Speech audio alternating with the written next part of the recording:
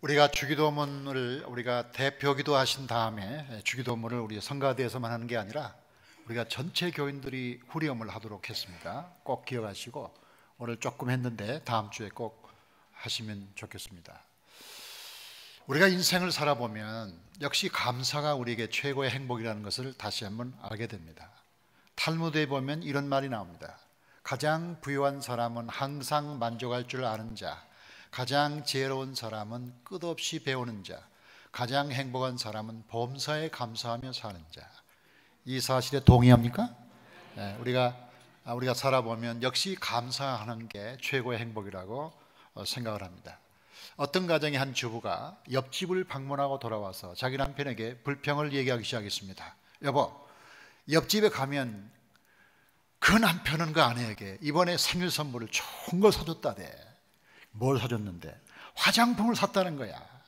당신은 나한테 뭘 주는가? 아니, 지난번에 줬잖아. 뭘 줬는데? 아니, 통닭 사줬잖아, 통닭. 아니, 통닭 가지고 되겠어. 화장품과 비교가 되냐 말이야. 아니, 나는 재미가 없어, 인생 사는 게. 그래도 남편이 하는 말이, 하, 그 여자가 참 불쌍하다는 거야. 아니, 불쌍하다.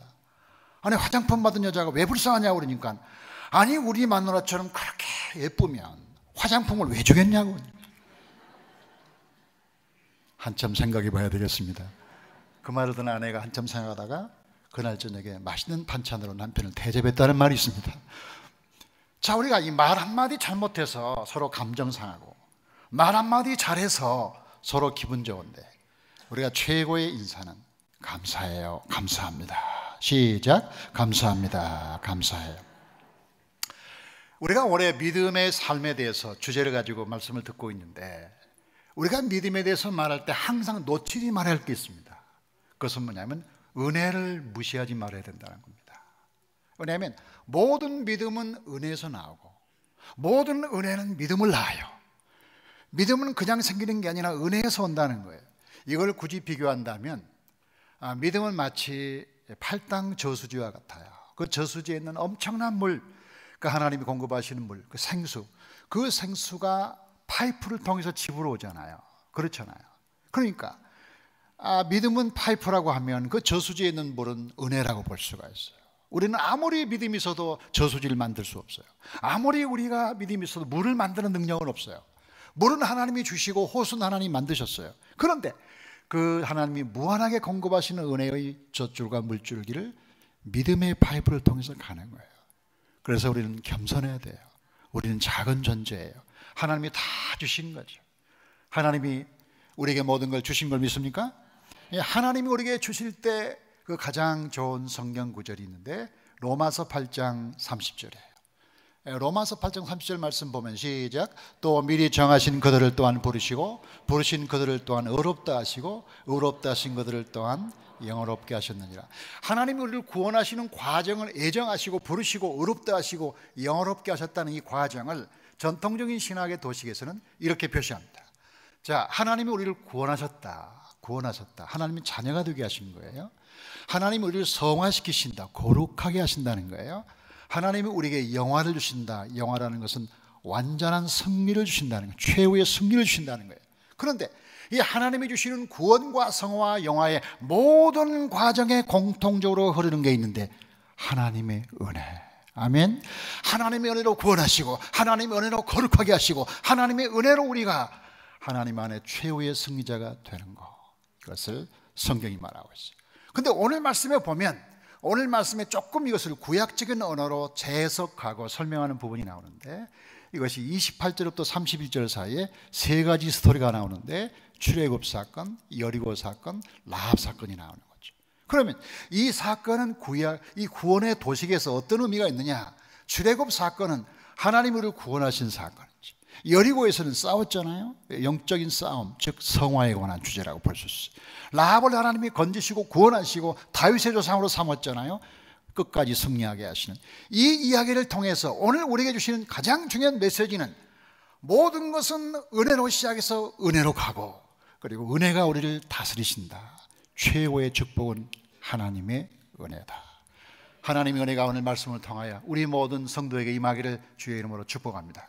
먼저 우리 구원의 과정을 봅시다. 자, 구원의 과정을 오늘 말씀에서는 홍해바다의 사건으로 설명하고 있는데 28절인가요? 28절을 같이 봐. 시작. 믿음으로 유월절과 피 뿌리는 예식을 정하였으니 이는 장자를 멸하는 자로 그들을 건드리지 않게 하려 한 것이며 믿음으로 그들은 홍해를 육지같이 건넜으나 애굽 사람들은 이것을 시험하다가 빠져 죽었으며 자, 하나님의 은혜가 우리에게 작동하기 시작한 시점이 구원이에요. 이 구원을 오늘의 얘기를 통해서는 출애굽 사건을 통해 설명하자고 하는 거예요. 그럼 출애굽이라는 건 애굽에 살던 이스라엘 백성들이 홍해를 건너 자유를 얻은 사건 아닙니까? 탈출한 사건이거든요. 그런데 이 애굽에 살던 이스라엘 백성들이 애굽을 탈출하는 게 쉬운 일이 아니었다는 거죠. 왜요? 그 강력한 중앙 집권적 통치와 바로의 그 압제와 군사 조직과 그 다음에 이 애굽을 탈출하면 바다를 건너야 되는데 어떤 사람이 바다를 건너겠어요? 홍해 바다 건너기 쉽지가 않아요. 그렇기 때문에 이 사람들이 자력으로 애굽을 탈출하는 것은 거의 불가능한 일이었어요. 그래서 하나님이 그 백성을 건져주기 위하여 은혜를 베푸셨다. 그건 어떤 은혜냐? 첫 번째가 어린 양을 통하여 어린 양을 통하여 그들을 자유케 하시는 은혜를 베풀었다. 12장 보면 너희 어린 양은 흠없고 1년 된 수컷으로 하되 양이나 염소 중에 취하고 7절에 보니까 그 양을 먹을 집 좌우 문설주와 임방에 바르고 그러니까 하나님이 그 백성을 스스로 구원할 방법이 없으니까 하나님의 은혜를 주었는데 먼저 어린 양의 죽음을 통하여 그들을 자유케 하신 은혜를 주셨어요. 그래서 그들이 이제 올망졸망 집을 싸가지고 이제 고향을 떠나서 홍해바다 앞에 도착했는데, 와, 여러분이 쉽게 보셨어요? 쉽게 보면 홍해바다 앞에 엄청난 바다가 시퍼렇게 있는데 그 바다를 건너는 방법이 없잖아요. 그래가지고 성경 보세요. 얼마나 당황했는지 애굽 사람들과 바로의 말들, 병거들과 그 마병들이 다 그 뒤를 쫓아 추격하여 바다 가운데로 들어오는지라. 장면 기억납니까? 애굽의 바로의 군대들이 마차를 타고 막 질주하면서 이스라엘 백성을 따라오는데 앞에는 바다가 놓여 있고 뒤에는 애굽 군대가 쳐들어오는데 어찌합니까? 아무것도 할 수가 없는 거예요. 아무것도 할 수 없는데 하나님께서 은혜를 베푸사 결국 그들로 하여금 그 바다를 건너게 했는데 어떤 은혜를 베풀었어요? 성경 보면 새벽에 여호와께서 불과 구름 기둥 가운데 애국 군대를 보시고 애국 군대를 어지럽게 하시며 제일 마지막에 보니까 애국 사람을 치는도다. 하나님이 그 군대를 다 바닷속에 집어넣고 그 바다를 말려서 그 바다를 말려서 열어서 그 백성을 건너게 하셨다는 거죠. 자, 그러면 왜 그러면 히브리서가 이, 이 얘기를 하느냐? 이 얘기를 하는 것은 다만 옛날을 기억하라는 게 아니라 하나님이 여러분을 구원하실 때 여러분이 한 게 아무것도 없다는. 이스라엘 백성들이 애굽에서 나올 때 그들이 아무것도 한 것 없는 것처럼 저와 여러분이 구원 받는 받을 때 우리가 아무것도 한 게 없다는 거죠. 아무것도 우리가 할 수가 없어요. 죄의 세력을 이길 수도 없었고 세상의 권력을 이길 능력도 우리에게는 없는 거예요. 우리 자신의 육체를 억할 힘도 우리에게는 없어요. 아무 힘이 없어요. 그런데 하나님이 은혜를 베푸셔서 우리로 하여금 저와 여러분이 구원받게 했는데 어린 양의 희생으로 말미암아 우리가 세례받고 구원받고 하나님의 자녀가 된 것은 전적으로 하나님의 은혜인 줄로 믿습니다. 그래서 신학자 포사이스는 말하기를 구원은 우리가 치르는 희생이 아니라 우리가 믿는 희생 때문에 구원받는다. 우리가 믿는 희생, 어린 양 그리스도의 희생 때문에 우리가 은혜로 구원을 받았다라는 사실을 성경이 말하고 있다는 거죠. 그런데 이 하나님의 은혜가 있지만 그 하나님의 은혜가 있음에도 불구하고 우리에게 필요한 게 있다. 그게 믿음이다. 자, 어떤 믿음? 자, 하나님의 어린 양을 잡아서 문 임방과 문설주에 발라라 하고 은혜를 베풀었지만 어린 양을 잡지 않았다면 아무 일도 일어나지 않았을 것이요. 내가 너희를 애굽에서 떠나게 하겠다 했지만 그들이 짐 싸가지고 집을 떠나지 않았더라면 아무런 일이 일어나지 않아요. 그들이 애굽에 떠났지만 홍해바다 앞에서 우왕좌왕하다가 집으로 돌아가자 그랬으면 구원의 사건은 일어나지 않아요. 모세를 향하여 지팡이를 내밀라 할 때 지팡이 안 내밀었으면 홍해바다 갈라지지 않아요. 이 말은 하나님의 은혜로 구원이 시작됐지만 그들의 믿음이 없었다면 또다시 구원의 사건은 일어나지 않았다는 거죠. 다른 말로 말하면 은혜로 말미암아 믿음으로 구원받은 거예요. 에베소 2장 8절 은혜로 말미암아 믿음으로 구원을 받았다. 다 같이 은혜로 말미암아 믿음으로 그냥 믿음이 아니라 은혜로 말미암는 믿음. faith by grace. 은혜로 말미암아 생긴 믿음 때문에 우리가 구원을 거예요. 몇 년 전에 제가 카나다의 나이아가라 폭포를 구경 갔는데 그 나이아가라 폭포에 얽힌 얘기가 있더라고요. 실화예요. 어떤 두 젊은이가 나이가라 폭포에서 한 30km, 뭐 50km 멀리 떨어진 호수에서 카누를 탔는데 두 사람이 이게 뒤집혔어요. 배가 뒤집힌 거야. 배가 뒤집혀가지고 막 정치, 정신없이 이 폭포 쪽으로 빨려 내려가는데 마침 강가에 있는 사람이 그걸 보고 밧줄을 던진 거야. 밧줄. 밧줄을 던져가지고 두 젊은이가 밧줄을 붙잡았어요. 두 사람이 다 붙잡았어요. 그런데 막상 밧줄을 끌어올리니까 한 사람밖에 없는 거야. 한 사람은 없어졌어. 하, 그래서 어떻게 이렇게 됐는가 하고 나중에 알아보니까 이 밧줄을 잡은 한 사람은 끝까지 밧줄을 잡았는데 또 한 사람은 밧줄을 잡다 보니까 큰 통나무가 떠내려오는 거야. 통나무가. 이 통나무가 큰 통나무 떠내려오니까 아, 저게 안전하겠다. 저 위로 올라가면 안전하겠다 해가지고 그 사람이 밧줄을 놓고 통나무로 올라갔어. 그런데 통나무는 붙잡아 준 사람이 없잖아요. 통나무는 혼자 떠내려가잖아요. 거기 올라탔어요. 그래서 결국 이 사람은 구원받지 못했다는 거죠. 자, 이 얘기가 뭘 의미하는 거죠? 무엇인가 우리에게 구원의 밧줄을 던진 분이 계신다. 이것을 은혜라고 불러요. 하나님은 우리에게 구원을 주시는데 우리가 스스로 구원받을 사람이 아무도 없어요. 통나무 가지고 안 돼요. 우리는 뭔가 눈에 보이는 거 시원한 거 그거 붙잡으면 구원받을 줄 알지만 그게 구원이 아닌 건 거기에 연결되는 끈이 없는 거야. 누군가 붙잡아 주는 사람이 없는 거야. 그냥 혼자 가는 거죠. 혼자 가는 거야. 그래서 하나님이 우리에게 밧줄을 던진 걸 은혜라고 하면 그 밧줄을 붙잡는 걸 믿음이라고 불러요. 그래서 은혜 더하기 믿음 결국 구원이에요. 그래서 이 밧줄을 붙잡은 사람들이 결국 강가로 나가서 살게 됐다는 거죠. 저와 여러분이 할 수 있는 것은 하나님이 주신 은혜의 밧줄을 믿음으로 붙잡는 겁니다. 이번 세배 때 제 아들이 그 손자를 데리고 왔어요. 두 살 먹은 애, 세 살 먹은 애를 데리고 와서 저에게 넙죽 세배를 한 다음에 세배는 조금 하고 두 손은 쫙 벌려가지고 돈 달라는 거죠. 돈 달라는 거죠. 아, 근데 놀라운 사실은 얘가 색깔을 알아본다는 사실이야. 아, 그래가지고 파란색을 줬더니 파란색 아니라는 거야. 누가 가르쳤는지 모르겠는데 엄마가 가르친 게 분명합니다. 아, 그래가지고 노란색이 나올 때까지 계속 고개를 흔들어서 노란색을 줬더니 그걸 바꿔서 아, 좋아가지고 하는 걸 보고서 제가 속으로 생각했어요. 야, 잘 받는 은혜를 얘가 받았구나. 잘 받는 은혜. 내가 얘를 줬는데 안 받으면 내가 뭐가 되겠냐. 잘 받는 게 중요하지. 여러분, 하나님 우리에게 은혜를 베풀 때 우리의 최고의 축복은 잘 받는 겁니다. 아멘. 그래서 존 스토트 영국의 목사님이 중요한 말을 했어요. 믿음이 할 수 있는 유일한 일은 은혜가 주는 것을 받는 것이다. 잘 받는 게 믿음이에요. 아멘. 잘 받는 것. 하나님이 저와 여러분을 구원하시기 위하여 은혜의 밧줄을 던질 때 우리가 믿음으로 밧줄을 붙잡는 것. 그래서 그, 그 은혜로 말미암아 믿음으로 구원을 받았으니 그 하나님의 은혜가 충만한 줄로 충원합니다. 자, 그럼 우리가 구원을 받았으면 그것으로 끝나는가? 그게 아닙니다. 가나안 땅을 들어가야 되는데 요단강 건너 들어가 보니까 와 거기 보니까 와 큰 성이 나타난다고 여리고라는 성이 나타난가 두 번째 여리고 두 번째 이 여리고를 통해서 우리가 보여주는 것은 성화의 은혜 거룩케 하신 은혜를 맛보게 되는데 여러분 이스라엘 백성들이 이제 다 이스라엘 백성들이 애굽에서 떠나가지고 광야 거쳐서 그, 그 여단강 건넜지 않습니까? 이스라엘 땅 들어갔지 않습니까? 그러면 이스라엘 땅 들어가면 다 그 땅의 주인인가요? 아니잖아요. 이미 거기 사는 사람 있잖아요. 그 대표적인 성이 뭐냐? 여리고라는 거죠. 여리고가 얼마나 강력한 성인지 여호수아 6장 1절 말씀 보면 이스라엘 자손들로 말미암아 여리고는 굳게 닫혔고 출입하는 자가 없다. 얼마나 여리고가 난공불락의 성인지 신명기 말씀에도 나와요. 신명기에 보면 그 백성은 우리보다 장대하며 그 성읍들은 크고 성광은 하늘에 닿았으며 얼마나 성이 큰지 뭐 이 성이 너무 큰 거야. 근데 문제는 가나안 땅에 살기를 원한다면 그 성과 싸우지 않을 수가 없다. 이 성을 통과하지 않고는 가나안 땅에 입성을 못해.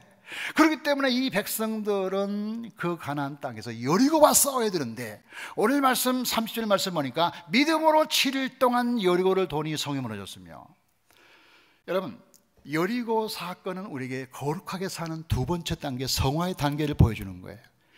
우리의 믿음이라는 것은 우리의 구원이라는 것 다만 애굽에서 탈출하는 것으로 만족하면 안 되는 거죠. 애굽에서 탈출하고 여리고 성을 무너뜨리지 않으면 늘 광야에 사는 거예요.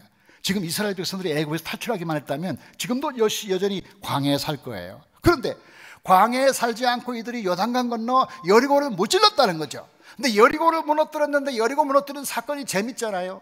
거기에 뭐 군병들이 가서 뭐 무너뜨렸나요? 아니면 엔테베 특공작전 같은 거 했나요? 땅굴 파기를 했나요? 뭐 낙하산 투여를 했나요? 아무런 뭐 특수한 아무런 것도 없어요. 딱 하나야. 매일 한 바퀴씩 돌아라. 나는 세상에 하나님이 그렇게 작전이 없을까 싶어요. 하나님의 그 성이 돈다고 무너집니까, 여러분? 그렇잖아요. 여러분이 마음에 안 드는 집, 마음에 안 드는 집이 있다고 그럽시다. 그 집이 좀 망하기를 바라는 속으로만 겉으로 하지 말고 망하기를 바라는 집이 있다면 여러분 집에 가서 한 바퀴 도세요. 무너질 겁니다. 믿음으로 하세요. 무너질 거야. 그렇게 되겠습니까? 제가 먼저 하겠습니다. 그러면 그런 그런 전략이 있어요? 아니 뭐, 돌, 돌면 무너지는 거예요? 아니 이거 뭡니까? 이, 마지막에 7일 동안은 일곱 번 돌아라. 일곱 번 돌았습니다. 아 그리고 뭐 나팔을 불어라. 나팔 분다고 무너져요, 여러분? 나팔 분다고 집이 무너지냐고. 이렇게 허술한 작전이 어딨냐 이 말이야. 그럼에도 불구하고 6장 보세요. 여호수아 6장 보니까 무너졌는데 이에 백성은 외치고 제사장들은 나팔을 불매 백성이 나팔 소리를 들을 때 크게 소리질러 외치니 성벽이 무너져 내린지라 백성이 각기 앞으로 나가 그 성에 들어가 그 성을 점령하고 아니 그 성을 돌기만 했는데 나팔을 불기만 했는데 무너졌다는 거죠. 그럼 이걸 뭘 말하느냐? 우리가 거룩하게 되는 거 영적 싸움도 하나님이 도와주셔야만 되고 그것도 은혜라는 거예요. 그것도. 아멘. 많은 사람들이 오해하는 게 뭐냐? 구원받는 건 하나님 은혜로 되는데 우리가 거룩하게 되는 건 우리 노력으로 된다. 우리 훈련과 노력이 필요하다. 하는 걸 강조하는 건 좋지만 그것을 강조하면 자칫하면 이단이 되거나 비성경적인 논리가 됩니다. 성령은 구원받는 거나 거룩하게 되는 거나 그 모든 것에 있어서 하나님의 은혜라고 말하고 있습니다. 하나님의 은혜는 구원만 베풀고 그 다음에 거룩하게 되는 건 네가 해라. 그 얘기 성경이 없어요. 그것을 다시 말하면 여리고 성을 우리가 무너뜨렸습니까? 이스라엘 백성이 무너뜨린 거 아니잖아요? 이 많은 여리고 성을 무너뜨린 것조차도 하나님이 하셨다. 모든 걸 하나님이 다 하신다 하는 것을 말하고 있어요. 네, 아주 중요한 거였어요. 그게 뭐예요? 하나님은 은혜로 우리를 거룩하게 하시지만 우리 믿음을 통하여 하신다는 게 중요해요.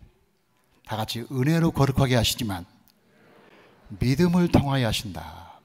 믿음을 통하여. 만약에 하나님께서 백성들에게 한 바퀴 돌아라 했는데 안 돌았다든지, 일곱 바퀴 돌아라 했는데 여섯 바퀴만 돌았다든지, 나팔을 불라 했더니 안 분다든지 했다면 여리고 성 무너지지 않아요. 하나님이 다 하시지만 우리를 통하여 하신다니까요. 우리 믿음을 통하여 하신다는 거예요. 우리 믿음이 작동되지 않으면 하나님의 은혜가 이렇게 역사하지 않는다는 거예요. 그렇기 때문에 하나님의 은혜와 믿음이 우리에게 매우 중요하다고 볼 수가 있어요. 구원이라는 것은 우리가 죄인이냐 아니냐의 문제지만요. 이 성화라는 것은 성화라는 것은 우리가 강한 사람이냐 약한 사람이냐의 문제예요. 구원이라는 것은 우리 존재에 관한 질문이라면 성화는 우리 수준에 관한 질문이에요. 이 말을 다른 말로 바꾸면 이거예요. 구원은 하나님을 표준으로 바라보는 거죠. 근데 성화는 우리의 수준을 하나님 수준으로 높이는 거예요. 표준과 수준의 문제. 표준은 우리가 바라볼 뿐이에요. 그거 그렇게 되는 건 아니. 그걸 바라볼 뿐이죠. 구원은 주님을 바라보는 사건. 우리가 거룩하게 되는 것은 우리 수준이 높아지는 거죠. 수준이 높아진 거죠. 근데 제가 여리고 사건을 묵상했는데 지금 여호수아가 여리고를 무질러서 정복했잖아요. 그러면 여호수아가 여리고를 정복했다고 해도 이런 일은 일어나지 않았을 거예요. 어떤 일? 그곳에 사는 술집 아줌마가 회개하지 않았을 거예요. 그곳에 사는 도박꾼들은 도박을 계속했을 거예요. 거기 지저분한 거 그대로 있었을 거예요.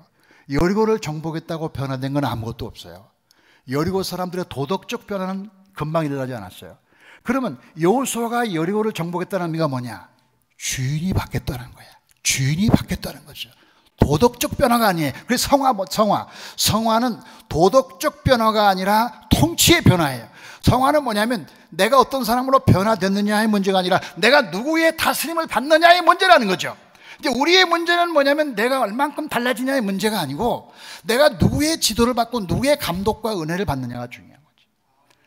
여리고는 여호수아가 정복해서도 한동안 옛날 모습을 그대로 살았겠지만 여호수아가 정복한 다음부터 점점 변화되기 시작하여 점점 하나님의 도성이 되었을 것이라고 저는 믿어요. 변화되었기 때문에 아니라 점령한 사람 때문에 변화되는 거예요. 이것은 무슨 얘기냐? 우리가 구원받고 하나님이 자녀가 되었지만 그렇다고 금방 하나님의 사람이 되는 건 아니에요. 하나님의 사람이 되기 위하여 수준을 높여가야 돼. 이게 성화야. 하나님의 사람으로 주님을 바라보는 표준을 삼아서 이게 구원이고 우리가 하나님의 자녀로서 점점 점점 점 좋은 사람 되고 능력 있는 사람 되고 강한 사람이 되는 거는 우리가 그걸 성화라고 하는데 하나님께서도 도와주셔야만 되는 거죠. 하나님이 도와줄 줄로 믿습니까? 근데 여리고 싸움의 제일 중요한 싸움은 뭐냐면 자기 자신과의 싸움이라는 거예요. 유진 피터슨이라는 영성가가 이런 말이 있어요. 사람들의 관심하는 것은 다른 사람의 죄 문제, 나 성경이 관심하는 것은 나 자신의 죄 문제. 우리는 남의 죄를 규탄할 수 있어요. 남의 죄를 말하기는 너무너무 쉬운 거예요, 사실은. 남의 잘못과 실수를 드러내는 것은 너무 쉬운 일이에요. 그건 누구나 할 수 있어요. 누구나 할 수 있어요. 그런데 자기의 죄를 슬퍼하는 게 중요해. 자기와의 싸움이 중요하다니까. 한국 교회든 한국 사회든 나를 배제하고 그렇게 객관적으로 말하기는 쉬워요. 내가 그 속에 한 이론이잖아요. 내가 한국 교회고 내가 한국 사회잖아요. 내가 그 주인공인데 그 속에 있잖아요. 그렇기 때문에 내가 안 변하는데 한국 사회 왜 안 변하냐? 안 변하게 돼 있어요. 내가 안 변하는데 한국 교회 이 모양이냐? 그 모양으로 돼 있어요. 중요한 건 뭐냐? 여리고의 싸움이라는 것은 남의 싸움이 아니라는 거죠. 늘 하나님은 우리에게 성령을 부어서 내가 변화되는 데 관심이 많아요. 한국일보와 조선일보는 우리나라의 탄핵에 대해서 관심이 많지만 성경은 나를 탄핵시킨 데 관심이 많아요.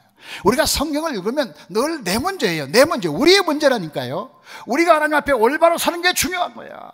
그래서 날마다 우리는 영적 싸움을 싸울 때 하나님 앞에 나 자신을 세워서 내가 이것밖에 안 됩니까? 내 수준이 표준은 주님이신데 내 수준이 이것밖에 안 됩니까? 주여 불쌍히 여기달라고 날마다 자기를 처복종시키며 주님을 닮아가면 여호수아가 그 성의 주인은 한 그분의 은혜가 임하는 한 점점 여호수아처럼 변하게 되는 거예요. 이게 성화의 비밀이에요. 여러분, 여러분은 예수 그리스도가 다스린 걸 믿습니까? 예수님이 여러분의 주인이시라는 사람을 믿습니까? 우리가 예수님이 주인이시기 때문에 지금 우리의 모습은 그대로 있지만 점점점 달라져서 영적 싸움을 통하여 하나님의 거룩한 성도가 되기를 주의 이름으로 축복합니다. 근데 세 번째가 중요한데 라합의 사건이 나오는 겁니다. 저도 이 말씀을 읽으면서 이 라합이 여기 왜 나왔을까? 기생 라합이 왜 나왔을까 하는 생각하는데 먼저 말씀을 읽어봐요. 31절이에요. 믿음으로 기생 라합은 정탐꾼을 평안히 영접하였으므로 순종하지 아니하는 자와 함께 멸망하지 아니하였도다. 자, 이 기생 라합이 멸망하지 아니하였다는 이 말은 사실은 틀린 말이죠. 멸망해야 맞는 사람이 사람은.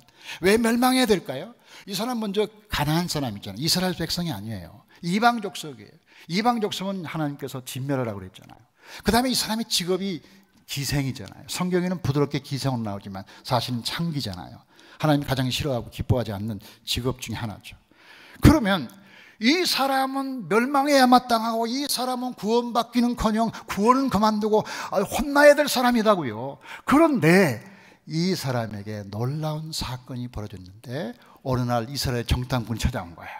정탐꾼이 찾아왔을 때 그 정탐꾼 두 명을 자기의 옥상에 숨겨줬어요. 그리고 이스라엘 백성들을 건져주었더니 나중에 어떤 변화가 왔느냐? 마태복음 1장 5절로 갑니다. 마태복음 1장 5절 살모는 라합에게서 보아스를 낳고 보아스는 루색에서 오벳을 낳고 오벳은 이세를 낳고 이세는 다윗상을 낳으니라. 여기 라합 나오죠. 라합이 기생 라합인데 여기서 살몬이 누구냐면 두 정탐꾼 중에 한 명이에요.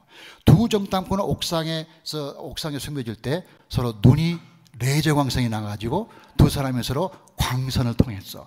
근데 두 사람 중에 왜, 왜 살몬인지 살몬이 훨씬 잘생기고 또 멋지게 저, 저처럼 생겼나 봐 아마.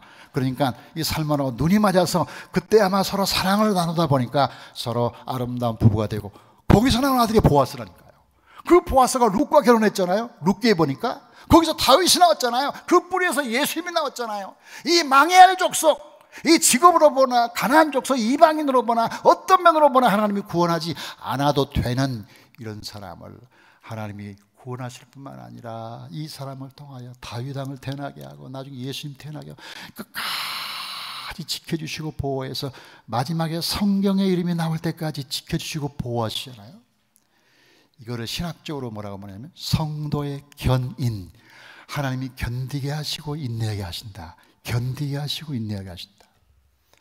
여러분, 사실 저와 여러분이 여기 있는 것은 우리가 뭐 열심히 믿음으로 살고 기도하고 살았지만 사실 하나님 앞에 우리가 아, 정말 진지하게 우리 자신을 내본다면 아, 하나님 제가 하나님 앞에 여기 있는 것은 무엇 때문입니까? 내가 무슨 착한 일을 얼마나 했겠습니까 하나님? 모든 게 다 하나님의 은혜입니다. 라는 말을 할 수밖에 없어요. 저는 그래서 이 찬양을 참 좋아해요. 이 가사가 너무 좋은 거예요 가사가. 내가 지금까지 지내온 것은 주의 은혜라 주의 은혜라 내가 하나님의 자녀가 된 것은 주의 은혜라. 이 세 번째가 참 중요해. 내가 이 자리에 서 있는 것은 주의 은혜라. 주의 은혜라. 목회자로서 저 자신을 돌아볼 때 많은 실수와 잘못과 결점에도 불구하고 여기 서 있는 것은 주의 은혜라. 여러분이 여기 앉아 있는 것은 그 많은 인생살이 속에서 실수하고 실패하고 죄 짓고 그리고 또 일어나고 그런 과정을 통해서 그래도 여기 앉아 있는 것은 이 시간에 다른 데 앉아 있는 게 아니라 여기 앉아 있는 것은 주님의 은혜인 줄로 믿습니다. 여기까지 오게 하신 주님, 성도의 견인, 성도를 하나님께서 견디게 하시고 인내케 하시고 끝까지 승리하게 하신다. 말씀 보세요. 고린도전서 1장 7절 8절이 얼마나 중요한지 몰라요. 자, 너희가 모든 은사의 부족함이 없이 우리 주 예수 그리스도의 나타나심을 기다립니다. 주께서 너희를 우리 주 예수 그리스도의 날에 책망할 것이 없는 자로 끝까지 견고하게 하시리라. 다 같이 끝까지 이 끝까지 견고하게 하신다 앞에 책망할 것이란 나오, 잖아요 이 말을 다시 뒤집으면 너희들은 책망할 게 참 많다. 그래서 내가 너희를 구원하는 걸 좀 내가 너희를 구원한, 구원한 것을 후회하고 내가 구원의 리스트에서 너를 뽑아버리고 싶을 때가 참 많다. 김 집사. 내가 너를 왜 구원해가지고 너 때문에 망신당하는지 내가 화가 나가지고 네 이름을 내 생명으로 해서 빼보고 싶은 적이 참 많다. 박, 박 권사. 내가 너만 보면 열이 난다. 열이 나. 왜 그렇게 사는지 내 아무리 생각해도 이해가 안 된다. 너를 보면. 안 믿는 사람은 똑같이 사는데. 어젯밤에 네 남편한테는 욱박질렀지 않느냐? 샤, 니 그러고도 권사냐? 내가 네 이름을 그냥 쏙 빼고 싶은데 그런데 책망할 것이 없는 자로 끝까지 내가 너를 견고하게 하리라. 그건 하나님의 의지예요. 하나님의 약속이에요. 하나님의 결정이에요. 하나님의 결단이에요. 우리가 여기 서 있는 것은 우리가 잘해서가 아니라 하나님이 끝까지 견디시고 도와주시고 불쌍히 여기시고 은혜를 베푸신 하나님의 은혜인 줄로 믿습니다. 또 성경 보세요. 빌립보서 보세요. 빌립보서 보면 너희 안에 착한 일을 시작하신 이가 그리스도 예수의 날까지 이루실 줄을 내가 확신하노라. 그리스도 예수의 날이라는 것은 예수님이 재림하거나 이 땅에 하나님 나라 이루어지는 완성의 날까지 그 완성의 날까지 하나님께서 끝까지 견디게 하시고 인내하게 하시고 끝까지 달려서 그 마지막 장면까지 승리하게 하시는 하나님의 은혜 때문에 저와 여러분이 여기 있는 줄로 믿습니다. 그리고 앞으로 얼마나 더 살지 몰라도 거기까지 가는 그 기간까지도 하나님이 도와주시고 인내하시고 끝까지 도와주셔서 거기까지 가게 될 줄로 믿습니다. 그리고 그 다음에 한 단계가 더 나오면 천국인데요. 이 책을 여러분이 읽으시면 좋겠어요. 나는 천국을 보았다. 우리는 보통 이런 제목의 책들을 많이 서점에서 봐요. 대개 이런 책을 쓰는 사람은 대개 기도원에서 기도하는 어떤 분들의 환상을 봤다거나 해서 쓴 책들이 좀 많아요. 뭐 그렇다고 해서 그 책이 가치가 없는 건 아니에요. 근데 이 사람은 저자는 하버드 대학 교수예요. 이 사람 뭐 하는 사람이면 뇌 전문 세계적인 권위자예요. 뇌 전문 권위자예요. 이 사람은 사람의 뇌를 취급하는 사람이기 때문에 천국을 얘기할 사람이 아니에요. 천국을 말하는 건 이 사람의 장르에서 벗어나요. 물론 천국이 없다고 말하지 않지만 있다고도 말하지 않는 사람. 그런데 이 사람이 죽었어. 죽어서 일주일 만에 다시 돌아왔어요. 돌아와서 쓴 책이 이 책. 여기 많은 천국에 대한 얘기가 나오는데 이 사람이 죽어서 이제 터널을 통과했다는 거예요. 터널을. 터널을 쫙 통과했는데 터널을 벗어나자마자 전혀 새로운 세계가 나왔다는 거죠. 저는 전혀 새로운 세계가 있다고 저는 믿어져요. 우리가 지금 사는 이 세계를 벗어나면 죽음의 터널을 벗어나면 우리가 상상하지 못했던 우리가 혹시 그럼 그럴 거야 하고 그렇게 그 정도는 아름다울 거야라고 상상했던 그 상상의 상상을 초월한 다른 전혀 다른 세계가 우리에게 펼쳐질 것이라고 믿습니다. 이 사람이 그 얘기가 하는 거 펼쳐졌는데 거기 보니까 공통점이 뭐냐? 말을 통하지는 않지만 그 사람들 사이에 무언으로 교감하는 제일 중요한 언어는 뭐냐면 우리는 서로 소중한 존재고 우리는 서로 사랑받고 있고 사랑하고 있고 그 사랑이 충만한 공동체 사랑이 충만한 공동체. 그래서 아, 그 빛과 사랑이 언제나 넘치옵니다. 그 찬양처럼 그 아름다운 천국을 그가 보았어요. 거기에 많은 얘기가 있는데 그 중에 한 얘기 에피소드가 한참 길 가는데 어떤 어떤 여자아이가 나와가지고 자기보다 나이가 어려 어린 여자가 나, 타나서 내가 네 누나다 그러면서 야 반갑다 너 오기를 기다렸다 아, 아버지 어머니가 나 때문에 많이 마음 아파지만 네가 돌아가서 위로해줘라. 나 여기 있다고 위로해줘라. 부모님께 말해줘라. 아니 그래서 자기는 누나가 없고 자기는 장남인데 누나가 없는데 웬일일까 하고 이 사람이 이제 깨어났어요. 깨어나서 아버지한테 물어봤다는 거지. 제가 천국에 갔다 온데 이러이러한 예, 여자를 봤다고. 어떻게 생겼냐? 아, 아버지가 하는 말이 네가 태어나기 3개월 전에 누나가 죽었다. 너무 마음이 아파서 이 얘기를 안 했는데 그 누나가 거기 있었구나. 누나 때문에 얼마나 속상하고 마음이 아팠 거기 있었구나. 부모가 아 거기 있었구나. 아 그러면서 부모가 그 말 때문에 엄청나게 위로를 받았다는 거죠. 여러분 사랑하는 부모님 이렇습니까? 혹시 여러분이 만나고 싶은 훌륭한 분들 이렇습니까? 분명히 확신합시다. 거기 있습니다. 거기 있다고 우리는 확신히 믿습니다. 하나님께서 예정하신 그곳에 인도에서 거기 있는데 중요한 것은 저와 여러분이 많은 실수에도 불구하고 하나님 끝까지 견고하게 하시고 인내하게 하셔서 여기까지 인도하신 주님이 마지막에 죽음의 터널을 통과하면 하나님 계신 그 집까지 하나님 인도하셔서 그 영원한 나라에서 주님과 함께 사는 영화 글로리피케이션 영화 거룩한 자와 함께 사는 그 나라까지 가는 그 모든 과정에서 필수적으로 따라오는 제일 중요한 것 하나님의 은혜. 하나님이 우리의 구원을 베푸시고 그 다음에 거룩하게 하시고 그 다음에 천국까지 가게 하시는 모든 과정에서 하나님의 은혜가 있다는 사실을 우리는 믿습니다. 우리가 하나님의 자녀가 된 것도 우리가 이 자리에 앉아 있는 것도 하나님의 모든 은혜고 우리가 앞으로 살 날이 얼마일지 몰라도 그때까지도 그 이후에까지 하나님의 은혜가 우리 모든 성도를 인도하시기를 주의 이름으로 축원합니다. 모든 것은 하나님의 은혜 그리고 하나님의 은혜를 붙잡는 작은 손을 믿음이라 불러요. 하나님 그 믿음을 작지만 주세요. 그 믿음을 주시고 그 큰 은혜로 인하여 우리가 승리하기를 주의 이름으로 축원합니다. 하나님 아버지 감사합니다. 거룩한 주일날 모든 것이 하나님의 은혜임을 고백합니다. 우리가 지금까지 살아온 은혜, 우리가 하나님의 자녀가 된 은혜, 우리가 이 자리에 서 있는 은혜, 이 자리에 앉아 있는 은혜, 이것은 하나님의 크신 은혜입니다.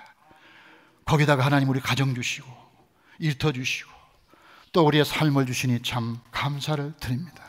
우리가 애굽에서 건져나와 하나님의 구원을 받는 은혜도 크지만 가나안 땅에 들어가 여리고 성에서 자기와 싸우고 죄와 싸우고 세상과 싸울 때 하나님 은혜를 주셔서 우리로 하여금 승리하게 하여 주시옵소서. 우리가 사는 광야 같은 세상 끝까지 주님이 도와주시고 인내케 하시고 견디게 하셔서 구원의 완성에 이르게 하여 주시옵시고 그리스도 예수의 날까지 우리를 지켜주시고 책망할 것이 없는 자로 끝까지 견디게 하여 주시옵시며 심지어 죽음 이후에도 터널을 통과하여 하나님 계신 그곳에서 그리던 가족을 만나게 하옵소서. 그 아름다운 환상과 영상을 날마다 바라보게 하시고 그 아름다운 하나님의 인도를 인하여 감사하게 하시며 하나님의 놀라운 은혜가 함께하여 주시옵소서. 예수 그리스도 이름으로 감사하며 기도하옵나이다.